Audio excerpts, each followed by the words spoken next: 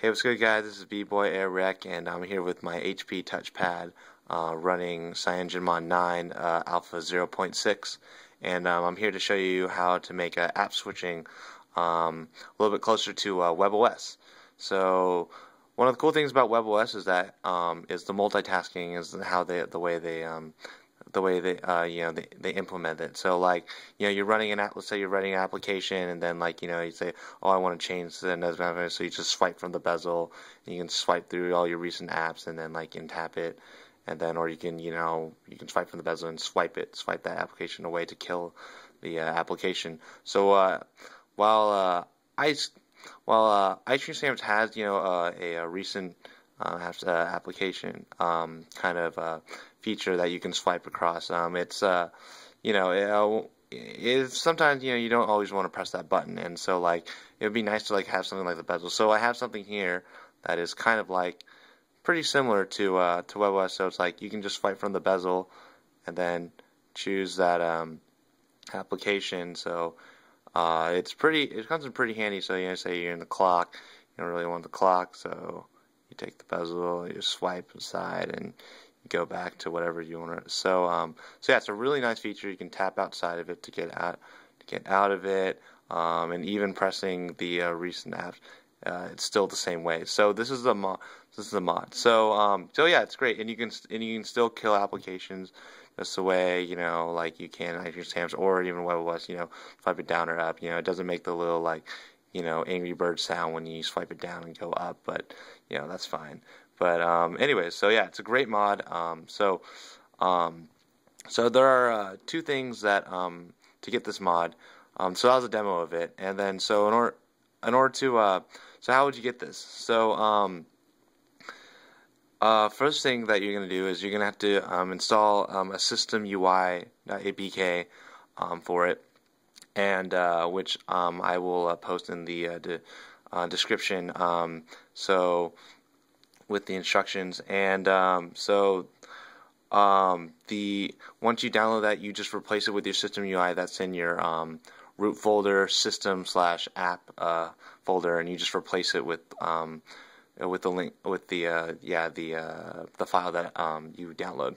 And then the other thing that you have to um, download is uh, this thing called uh, this application called Task Switcher.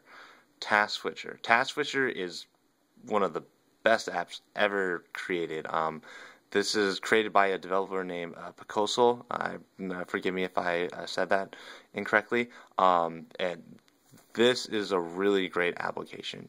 Um, shout out to Pacosal because he actually helped me um, you know, make this uh, mod possible. Um, and so, yeah, like I immediately once he, you know, once he uh, set up all the instructions uh, and then you know and, and, made the mod for me, I immediately donated. Big shout out! Please check out his app. So the cool thing about this app is that um, it, it enables you know launching things from you know swiping from the bezel thing. So like um, so you can customize all these like different zones of bezel. So like you want to swipe from like you know the bottom right, you know, say like oh that will be like you know launch an application, launch a custom application. This one will be launch uh, recent apps. This one. Um, and you can you know customize the sizes of the the zones of which where you want to swipe on the bezel, and uh, it's really great. Um, so they even have functionality for like you know home menu and search and like and all those different like types. So like you don't even have to press um, these buttons anymore.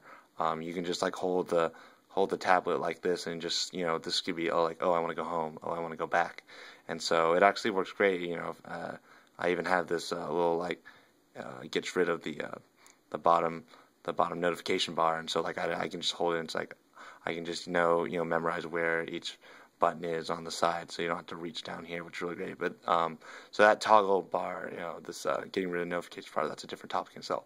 So, anyways, so you uh, once you replace the system UI, you download Task Changer, and you launch Task Changer, and then you open up uh, the settings for it.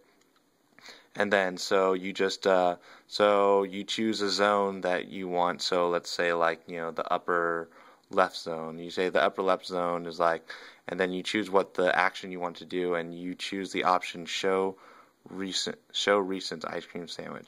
Once you choose that, then um, then you're you're all good to go. And so um, as soon as you uh, back out of it, once you once you swipe, then you'll get that. So I have all, I have three zones right now that do it. So the left, the right, and the top. Um, I could even have a bottom one. It doesn't work with too well the bottom one if you have the notification um, bar because it gets it gets in the way. Though you actually have to press a little bit above it to swipe it up. So that's kind of a pain. Um, so, uh, but if you do have the toggle bar thing, then you can use it like that uh, to swipe from the bottom. So uh, that's only, but I don't necessarily. I like to see my notifications, so I don't always use that. Um, anyways, so um, so that's so uh, that's yeah, that's a modification. So uh, one thing though is that I would like to point out is that uh, the if you can notice the thumbnails are really really blurry. Um, they're really really low resolution, and um, I was hoping that um, so currently you know on my RootzWiki thread um, you know we're trying to uh, work that out um, and uh, develop developers are working on that um, because uh, supposedly I guess it's linked to the the DPI. So obviously you, we can up the DPI to make you know a little higher resolution, but like that's um, but you know that's no good because you don't want to change the you know the whole DPI of it. It just you just want to change the resolution for these thumbnails. So that um, so yeah, if you guys have any um, any suggestions, please let me know in the RootzWiki thread that um, um, that I posted for this, and um, and yeah, so uh, or in the comments below. So yeah, um, most of the information will be in the link description. If it's not there yet, I will post it eventually. Um, so keep uh, keep it locked and loaded. Um, so yeah, uh, that is that is it. And so yeah, um, if you have any questions, uh, let me know or questions, suggestions, whatever. Um, let me know in the comments or the uh, the thread.